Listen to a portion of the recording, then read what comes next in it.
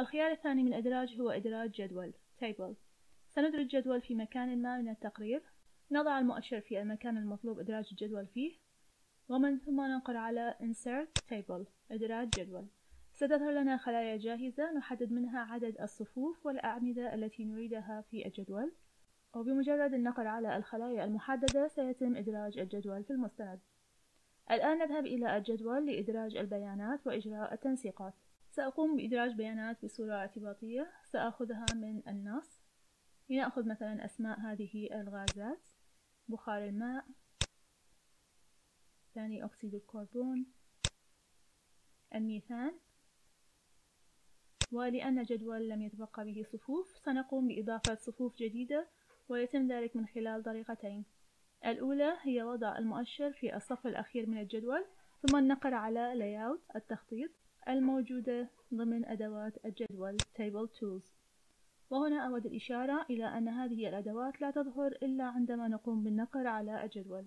وكذلك فإن أي كائن نقوم بإدراجه في الصفحة سيتم إظهار أدواته فقط عندما ننقر عليه.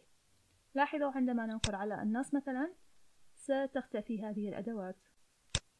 في أدوات الجدول يوجد قائمتين هما Design تصميم وهي الخاصة بإجراء التنسيقات مثل الألوان والإطار.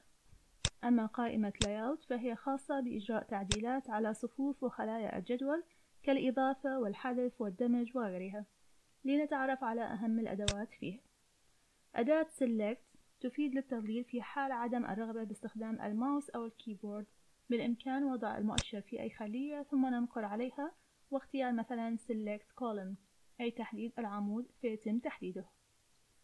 أداة View Grid Line تختص بإظهار حدود الجدول عندما نقوم بإخفائها أداة Properties أي خصائص الجدول فيها الكثير من الأدوات الظاهرة أمامنا في القائمة ولكن أهم أداة فيها هي اتجاه الجدول Table Direction.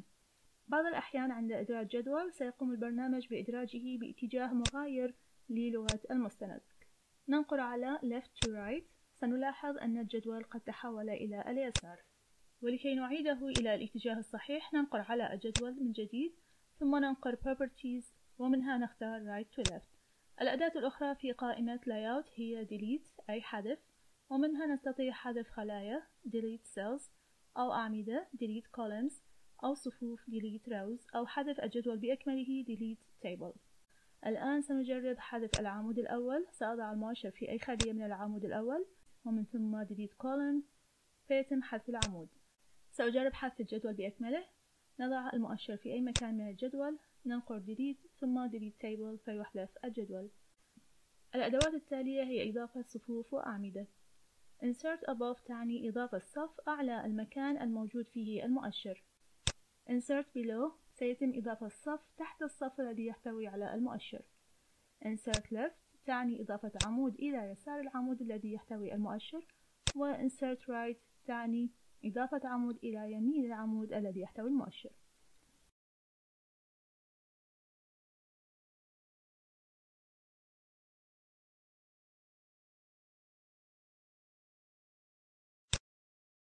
سندرج صف في نهاية الجدول لنكمل إدراج البيانات. ننقل على Insert Below وندرج صفين.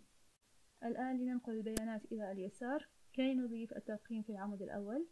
نظلل كل عمود وننقله إلى العمود التالي بطريقة السحب والإفلات أو النسخ Ctrl C الآن نرقم العمود الأول وذلك بتظليل العمود والنقر على أداة الترقيم. بالنسبة للخلية الأولى لا نريد فيها رقم لذا سنمسحه ونكتب مثلا تاء عن التسلسل. لم نعد بحاجة إلى العمود الأخير فنقوم بحذفه. نظلل العمود ننقل على layout ثم delete و delete column.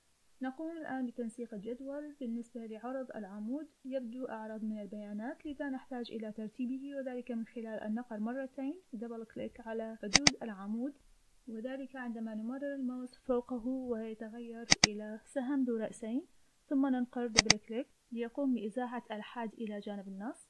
الآن نرتب النص داخل الصف الأول وذلك بتضليل الصف ثم ننقر على توسيط. بقي العمود الأول يحتاج إلى ترتيب. الأرقام تظهر بعيدة عن حدود العمود. نضللها ثم ننقر على إزاحة النص إلى اليمين لتقليل الهامش. ثم ننقر على الحدود نقرتين. في حال عدم استجابة الحدود للأمر نعرف أن هناك خطأ ما.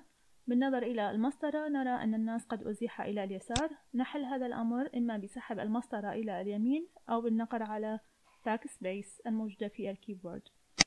الآن نقوم بتوسيط الجدول بالكامل وذلك إما بتظليله بالكامل عن طريق المؤشر أو النقر على علامة تحديد الجدول الموجودة أعلى يمين الجدول. ومن ثم ننقر على أداة التوسيط. ثم نقوم بتلوين الجدول كالتالي. نظلل الجدول ننقر ديزاين أي تصميم في أدوات الجدول ثم نختار التصميم الذي نريد من التصاميم الجاهزة. بالإمكان كذلك تلوين الجدول يدويا وذلك بتضليل الخلايا المراد تلوينها ومن ثم اختيار الألوان المناسبة.